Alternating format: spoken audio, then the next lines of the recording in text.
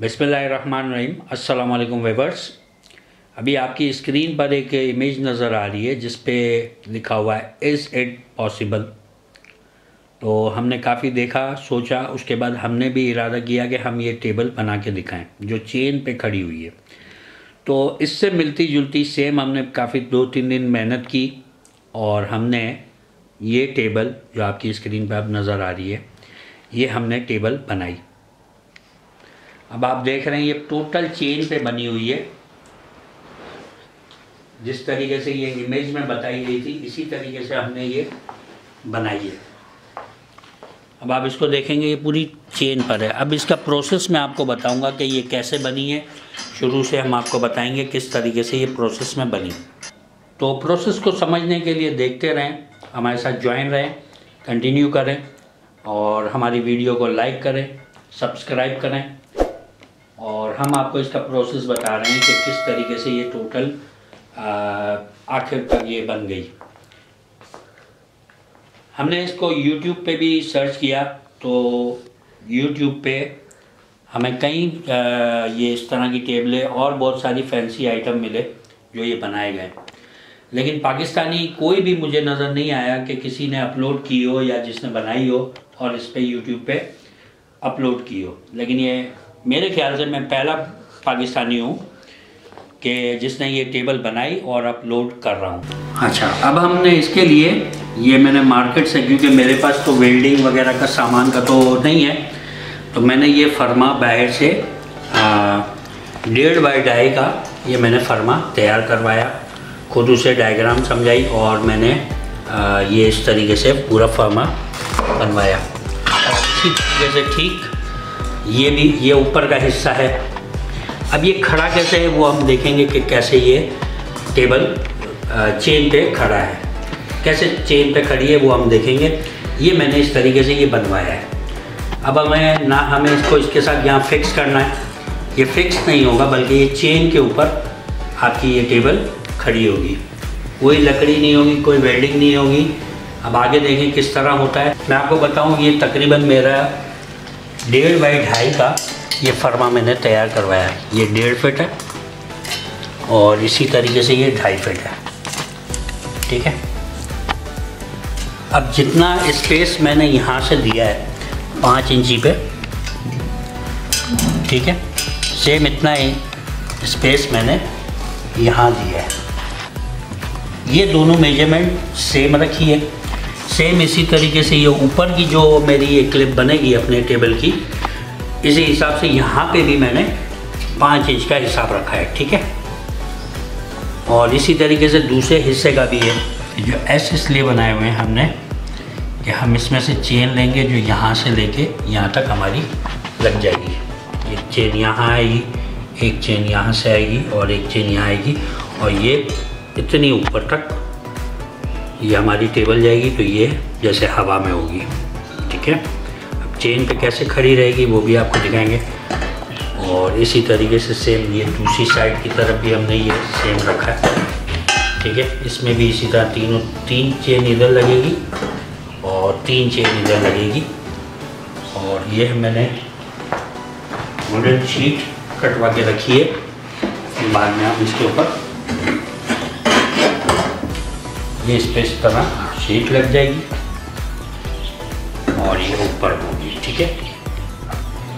मैं जब तक इसको जो हमारा इस पर रिगमाल करेंगे इस ज़ीरो से जब हम इस पर रिगमाल करके और कलर करेंगे इस पर आप चाहे स्प्रे से करें, ब्रश से करें, कॉटन से करें, लेकिन हम इसको अपने चॉइस का कलर, जैसे हम ब्लैक करेंगे, हम ब्लैक कलर करके इसको सूखने देंगे और इसको हम इसके साथ फिक्स करेंगे, वो भी हम आखिरी में करेंगे।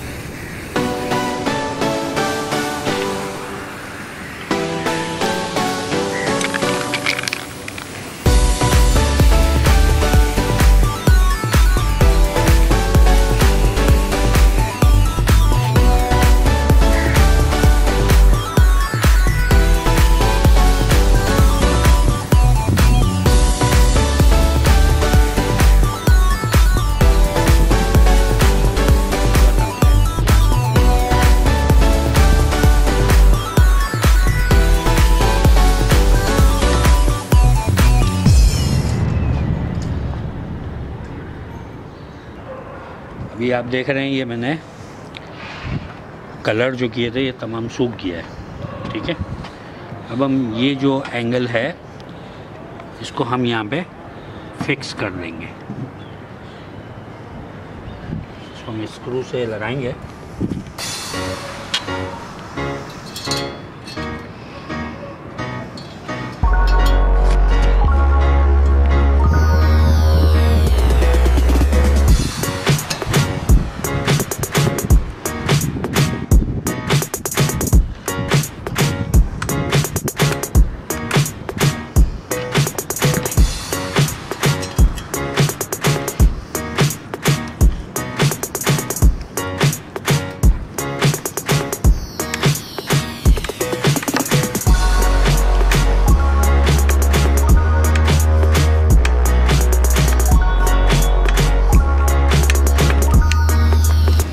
इसको भी हम कस देंगे।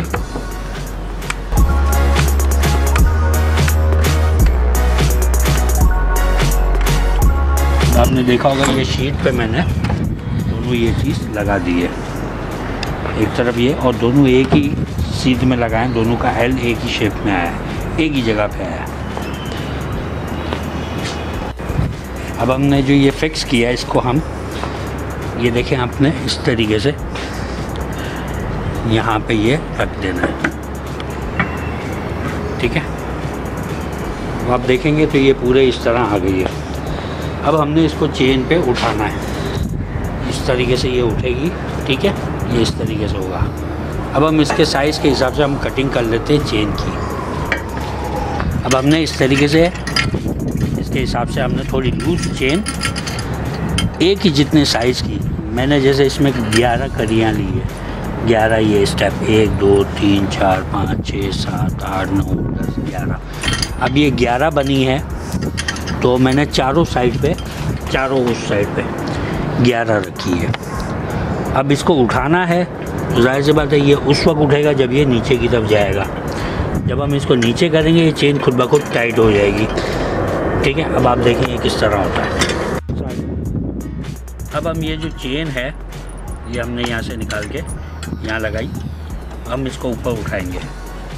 अब हम इसको ऊपर उठाएँगे और अपने हिसाब से इसको इस पर डालने की कोशिश करेंगे।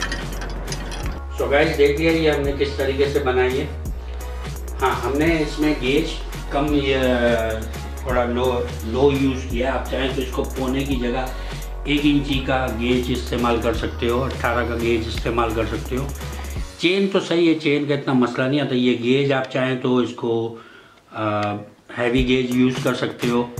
ये आप, मैंने लासानी यूज़ की इसकी जगह आप चीप बोर्ड यूज़ कर सकते हो, कोई भी लकड़ी यूज़ कर सकते हो तो ये इसमें और मजबूती आ जाएगी। ये सिर्फ़ आप लोगों को समझाने के लिए, और सबसे बड़ी बात कि जब चेन को टाइट करना होता है तो देख रहे हैं ये चेन के बीच में कैप मैंने खोले, ताकि इन दोनों को मिला के फिर मैंने इसको टाइट किए इसी तरीके से यहाँ पे भी किया है, और इसी तरीके से यहाँ पे भी किया है। और इसी तरीके से मैंने चारों जगह पे किया तो आपने देख लिया, ये फाइनली बन गई और चेन पे जिस तरीके से कहते हैं कि खड़ी करने का तो वो हमने बना के देख ली। आप भी बना के ट्राई करें, मेरी वीडियो को लाइक करें शेयर करें सब्सक्राइब करें, ताकि आने वाली जो भी वीडियो होगी, जो भी टेक्निक्स होगी या रेसिपी होगी, वो आपको मिल सके। इसके साथ ही अल्लाह हाफिज़, टाटा बाय बाय